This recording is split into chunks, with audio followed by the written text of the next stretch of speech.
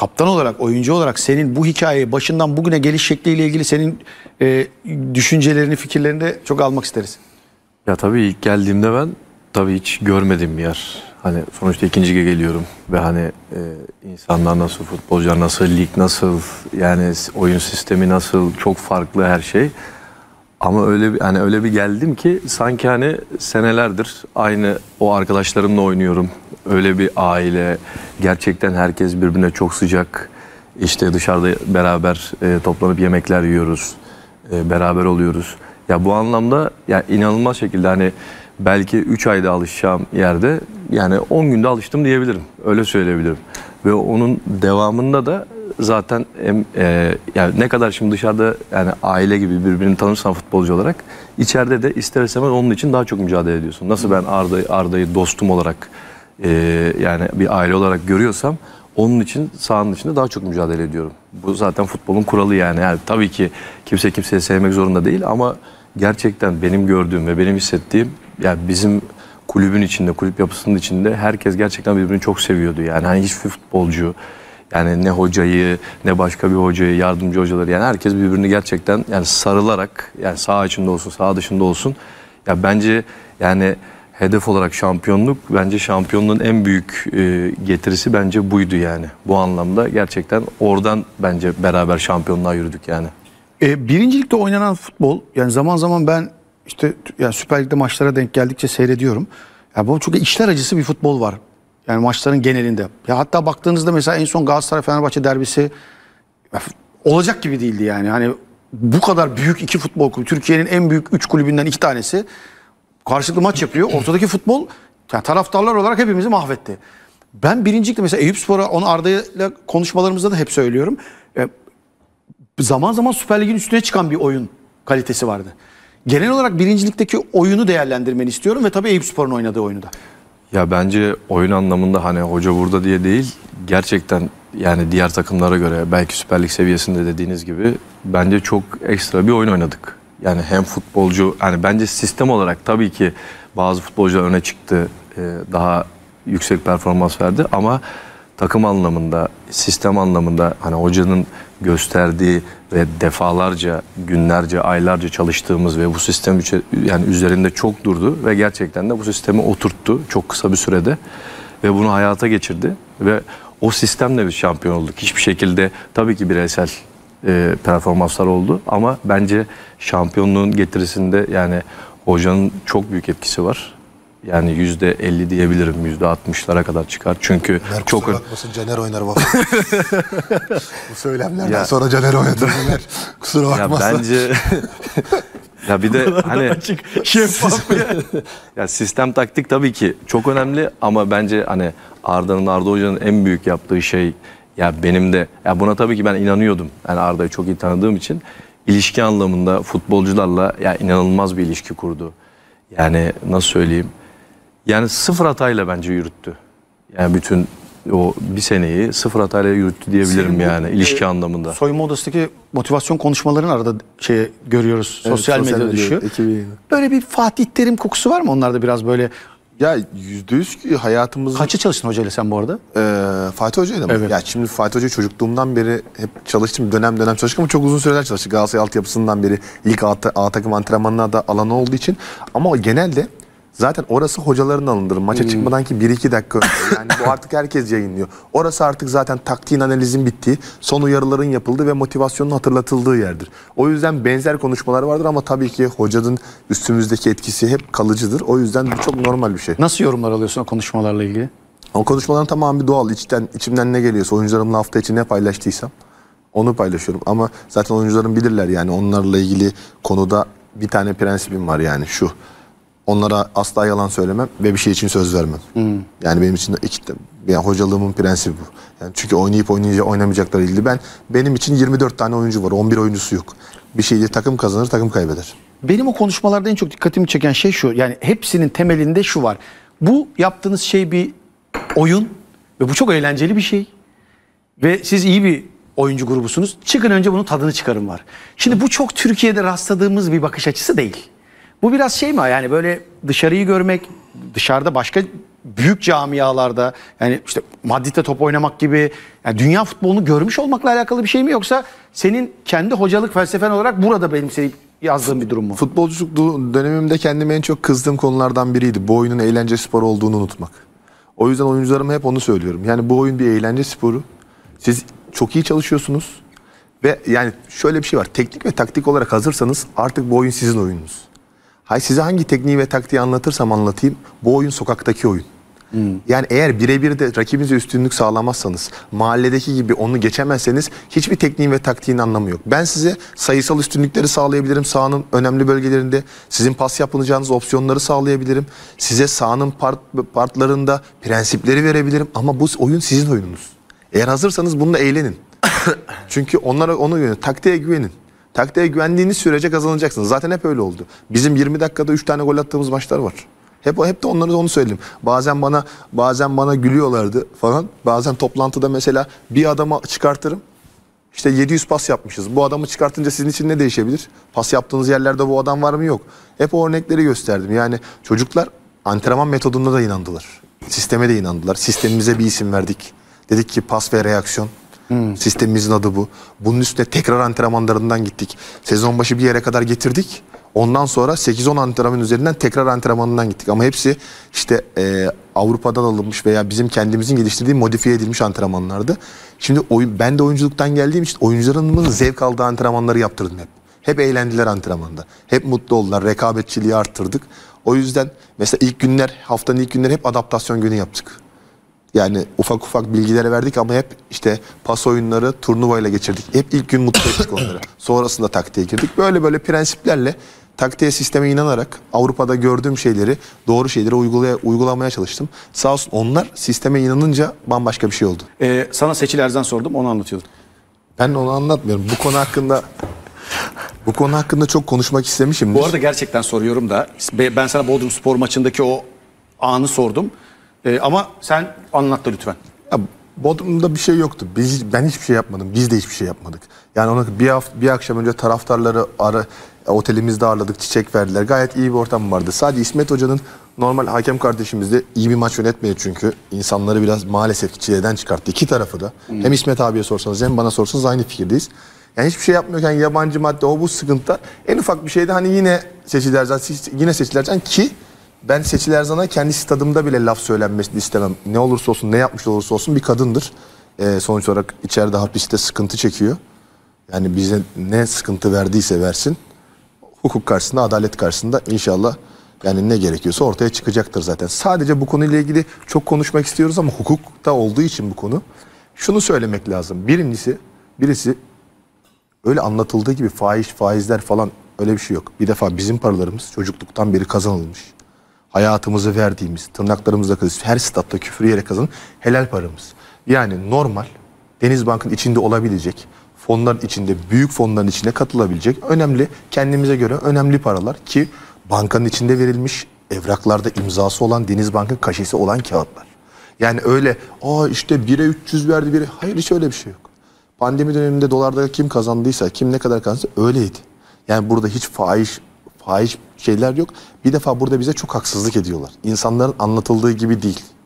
Yani bu ülkede e, yıllarca biz elden paralar alıp gidip dekonta imzaya sonra attığımız 5 dakika sonra geliyor dediğimiz tesise getirdiğimiz sen de yöneticilik yapmışsın. Futbolculukta Futbolculukta biz yıllar Avrupa'da oynarken işte telefonla yaptığımız. Sadece bu konuyla ilgili şunu söylemek istiyorum. Bu kadın 15 sene 15 sene boyunca başarı hikayesi diye Denizbank'ın Twitter hesabında duran hikayesi duran Denizbank'ın çok güvendiği Florya Şube Müdürü İstanbul'un göbeğinde Levent Şube Müdür. Evraklı imzalı kağıtlar var. Yani burada ben adaletten önce Denizbank'a da sesleniyorum. Ben onların da güvenilirliğine hala inanıyorum ve şöyle bir şey var. Ben asla ilk günden son güne kadar şunu söylüyorum. Denizbank'taki yöneticilerin de bir suçu olmayabilir. bizim haberimiz yok diyorlar ama. onlar. Hayır, hayır, olmayabilir ama bu bankanın çalışanının çalıştıranı çalışanının sorumluluğuna girer. Aynı benzer bir olay Manavgat'ta da oldu. Ben diyorum ki Deniz Banka bir sürü mağdur insan var. Gelsinler bunu bankanın çalışanına, müdürlerine sahip çıksınlar. Ve her şeyi geçtim. Her şeyi geçtim. Biz mağduruz. Para kaybettik. Şimdi Cem abi bunun mizahını yapıyor. Yapabilir. Ben de gülüyorum mizahını. Eğleniyoruz. Hakkıdır. Yapılabilir. Ama etrafta genel bakış açısında Oh olsun, sevinmeler. Arkadaşlar biz bu parayı helal paralar kazandık. Hayatımız boyunca mücadele ettik. Dünyanın her stadında. Hem de en iyisini oynayarak. Geçmiş olsun ya. Geçmiş olsun. Parayı sizden soru sorabiliyor muyuz bu arada? Yok soramıyoruz. Çünkü yani hukuk hukuk sınırları var. Sadece söylemek istediğim şey herkes üstüne düşen hatayı alırsa bu konular çözülebilir. İnsanlar mağdur. Deniz Bank'a güvenerek, Deniz Bank Şube Müdürlüğü'ne güvenerek bu işler yapıldı. Siz bir şey soracağım. Sadece şunu soracağım. Yani e, bu paraları verirken siz bir birinin kurduğu bir fona değil de bankanın Hayır, kontrolünde bir fona diye mi verdiniz? Banka, banka tabii Öyle Deniz- mi söylendi size? Herhalde Deniz Bank'ta imzalı kağıtlar var. Deniz Bank kaşeli imzalı banka müdürünün imzası var. Öyle şey olur mu Candaş abi? Bunlar tabii alttan spekülasyonlar. Biz konuşmuyoruz diye işte e, karşıt görüşte olduğumuzu düşündükleri gazetelere, yayıncı kuruluşlara yapılan şeyler. Ben hiç buralarda değilim. Ben şuradayım. Bak Candaş abi biz ben pazartesi günü kalkarım annemden, anamdan, babamdan aldığım örf adet. Pazartesi günü kalkarım hangi parayı kaybedersem kaybedeyim. Hangi sıkıntıya girersem gireyim. Ya Allah bismillah der yine bu paraları kazanır çalışırım. Benim parayla eğilecek bir başım yok. Çok şükür ki.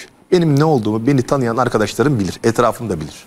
Ama geçmiş olsun da bir nezakettir. Ne zaman biz bu kadar örfümüzü, adetimizi kaybettik? Ben ne diyorum bak?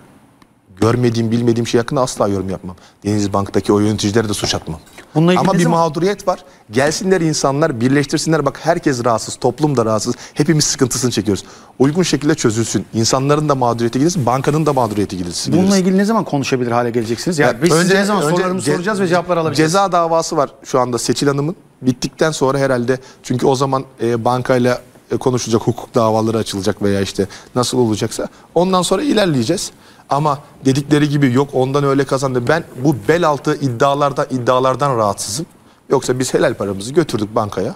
Verdik imzalı kağıt aldık karşısında ben banka müdürüne verdikten sonra ne saymasını beklerim ne yıllarca. Bana çok olan sana azdır sana sana az olan bana çoktur. Bunlar olabilir. Ama dediğim gibi hayatta bunlar var. E, burada bir mağduriyet var. Mağduriyette karşılıklı kibar olmak lazım. Ben halkımız için de söylüyorum. Çünkü bugün sen para kaybetsen ben üzülür ve geçmiş olsun derim. Hatta bir şeye ihtiyacın var mı derim. Seninle sürekli gülüp eğlenip dalga geçmem. Ben Göztepe taraftarını çok seviyorum ama ilk fırsatta Seçil Erzan dediler. Bandırma'ya gidiyorum Seçil Erzan diyor. Bodrum'a gidiyorum Seçil Erzan diyor. Kardeşim bana bir şey olmaz. Ben çalışırım. Allah bana sağlık verdikçe çalışırım. Parayla da çokunla da acınla azınla da gocunmam. Az çok beni tanıyorsun. O yüzden ricam geçmiş olsun nezakettir. Herkese tavsiye ediyorum. Bununla konuş, bununla ilgili hukuken konuşabilir durumda Bu kadarını konuşabiliriz abi. Bu kadarını konuşabiliyoruz. Peki konuşabilir durumda olduğunda ama sana sorularımızı sormak istiyoruz. Lütfen ben her soruya her soruya en netlikle en açık şekilde cevap veririm ama e, Yok anlıyorum. Hukuki bir süreç var. Yani, Yani onu anlattın bir da süreç sen var. zaten. Bir de büyük bir büyük bir eee, büyük bir kaybımız da var yani burada. Üzücü, üzücü tavırlar, yaklaşımlar etrafında çok üzücü. Yani o kadar da değil arkadaşlar. Şey ne oldu? Bir belgesel vardı şu an devam eden. Eee, Amazon Prime Bitti mi? Yayınlanıyor mu? Eee, çekimleri bitmek üzere. Yüzün üzerinde ülkede yayınlanacak. Muhteşem bir belgesel oldu. Biraz fazla gerildim çekimlerde. Üzüldüm, sıkıldım. E, yüzleşme. Geçmişteki skandallarla da her şeyle karşı karşıya geldim. Her şeyle olabildiğince her şeyi anlatmaya çalıştım. Karşı tarafa fırsat vermeye çalıştık. E, dediğim gibi dünyanın her yerine gidildi. E, çok özel bir belgesel olacak. İzlenmesini tavsiye ediyorum. Hem Türk e, futbolu için hem gelecekteki çocuklar için iyi bir örnek olacağını düşünüyorum. E, çok da keyifli tarihi bir iş olacağına inanıyorum açıkçası. Umut Hoca'nın da buradan ellerine sağlık. Hem yapımcımız Doruk'un hem Umut Hocamızın ellerine sağlık. Okan Can Yantar eşliğinde muhteşem bir iş ne zaman yapıyorlar. yayınlanacağı? Ağustos ortasında vizyona gireceğiz inşallah. Cener yerli hakemle olmuyor mu? Ya yok öyle bir şey bence. Ya yabancı hakem de nasıl olacak? Yani yerli hakem de olmuyor derken. Artık bu sene kıyamet koptu ama yani yerli hakem yerli hakem artık VAR'a yabancı koydular. O da tabii neye göre karar veriliyor belli değil yani. Hangi maça yabancı hangi maça yerli verecek ama e, sence sorun hakemin yerli olması mı Türkiye'de? Ya bence sorun o değil ya. Yani hakemin yerli, yabancı yani yurt dışında da oluyor bir sürü hatalar. Yani önemli olan nasıl karşılık verildiği kulüplerin. Ya benim düşüncem bu yani. Çünkü iyice bir yani spek- spekülasyona sokarsak zaten yerli de olmaz, yabancı da olmaz hiçbir şekilde. Ya ben öyle düşünüyorum. Çok yerliyle yabancı ile ilgili bir şey olduğunu düşünmüyorum ben çok. Sen ne diyorsun Arda? Sen iyi oynadıktan sonra sahada. Bu ülkede her zaman iyi oynayan şampiyon olmuştur. Açıp bakalım. Bak biz bir golle şampiyonluğu kaybettik size. Siz bizden daha iyi oynadığınız için kazandınız. Biz kendi aramızda Belhanda, sağ kırıcı, o bu falan. bir sürü deplasmanı geçmişten kaybetmiş. Ben buna inanırım. Ben yıllarca sahanın içindeydim. Bu oyun şerefli ve onurlu bir oyun. Ama yeri gelmişken bir şey söylemek isterim müsaade edersen. Büyük bir üzüntümü söylemek istiyorum. Buradan da federasyona sesleniyorum. Tabii alt ligde çalışınca daha alt liglere de bakma fırsatımız oldu. Son haftaları açıp bir baksınlar ülkenin alt liglerine. Alt liglerde oynayan oyuncu kardeşlerime de teknik direktör abilerime dostlarıma da sesleniyorum. Bu oyun bizim sokaktaki oyunumuz. Bu oyun bizim gençlerimizin oyunu.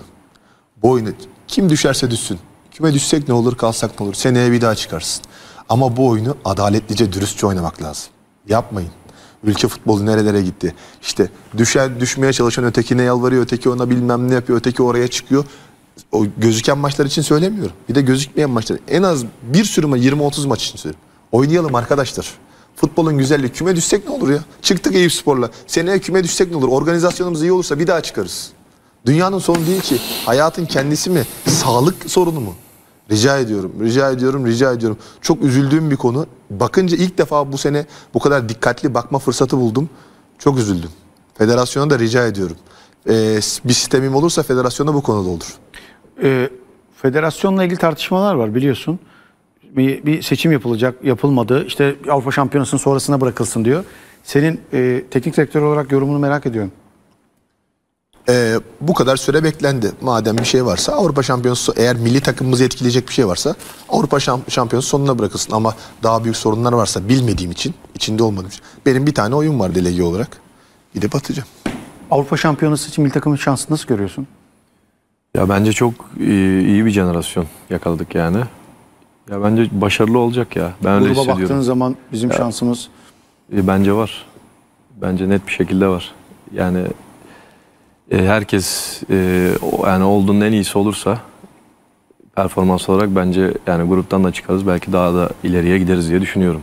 Caner bu makas neden sence bu kadar çok açıldı Türk futboluyla Avrupa arasında? Sen orada da oynadın. Burada da Fener'de, Beşiktaş'ta çok büyük camialarda oynadın. Ee, bugün 2024'te futbola baktığın zaman Türkiye ile Avrupa arasındaki oyun farkı ya beni sadece ya ben izleyici olarak söylüyorum bunu, belki katılmıyorsunuzdur onu da bilemem de e, böyle bir aldı gidiyor başını gibi gözüküyor. Sen de aynı fikirde misin? Öyleysen sence niye açıldı bu? Ya aslında yani sonuçta baktığınızda büyük takımlara da baktığımızda ya bir sürü yurt dışından çok yani kaliteli üst düzey oynayan futbolcular da var. Yani açıldı derken bence orada e, nasıl söyleyeyim yani satın almalar işte bonservis olarak çok yüksek paraları dönüyor. E, belki Türkiye'de o paralar ödenmiyor. Ya da yani kulüplerin bence işte e, biraz önce de konuştuğumuz o sabır tarafı hoca olarak da yani kulüp yönetimi olarak da işte yönetimler de değişiyor. Mesela Avrupa'daki yönetimlerin hiçbirisi işte iki senede bir değişmiyor ya da üç senede bir değişmiyor ve devam ediyor. Yani yıllarca başkanlık yapmaya devam ediyorlar üst düzey kulüplerde. Ya buralardan bence kaynaklanıyor. Ya bu biraz çıtanın da farklılaşması yani ben öyle düşünüyorum. Arda sen ne düşünüyorsun? Yani sence de böyle bir fark Ben açılıyor mu yoksa? Milli, takım, milli takımın e, milli takımlar düzeyinde Euro 2024'te bunu kapatacağını düşünüyorum. Makası Hmm. biraz.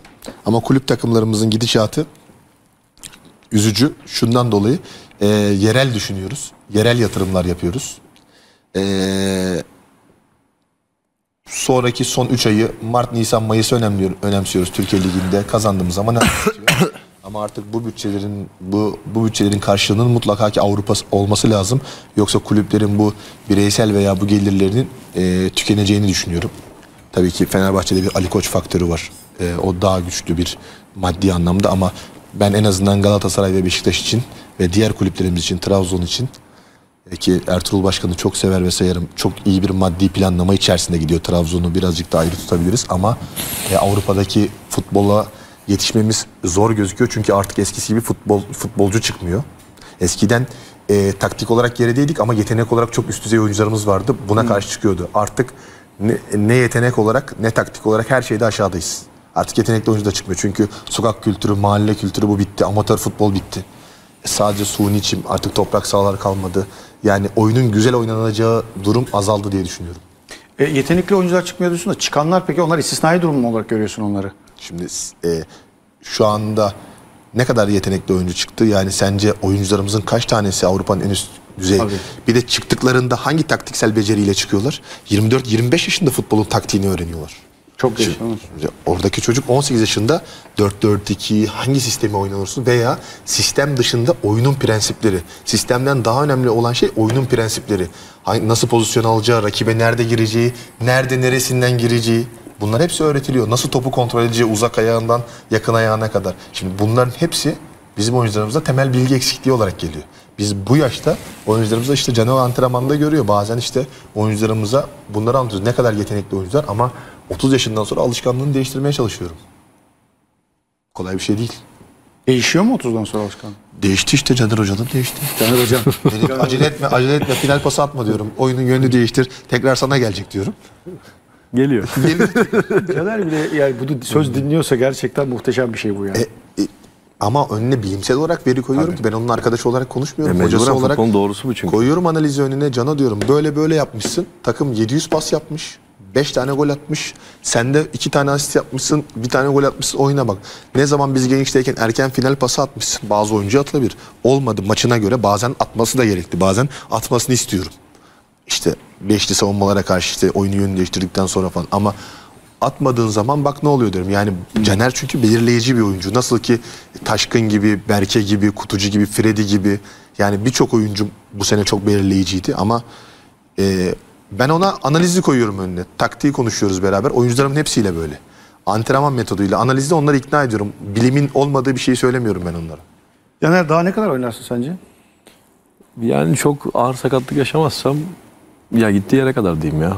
Yani öyle bir kafamda bir sayı yok. ki. Ya bir şey 40, değil 41, mi? 42. Sakinleşsin bir yani biraz sakinleşsin. Neden toplum baskısını üzerine alsın? Zaman zaman rolünü kabullensin. Modric gibi, Kroos gibi abi olsun. 4 sene daha oynar, 5 sene daha oynar. 4. Oynar. Ya ben ben de oynayacağımı düşünüyorum. İnanılmaz bir Katılıyorum inanılmaz bir ayak yeteneği var. Yani çok az oyuncuda görecek. Yani top seviyede. Jordi Alba, zaman zaman Messi vuruş seviyesi olarak inanılmaz.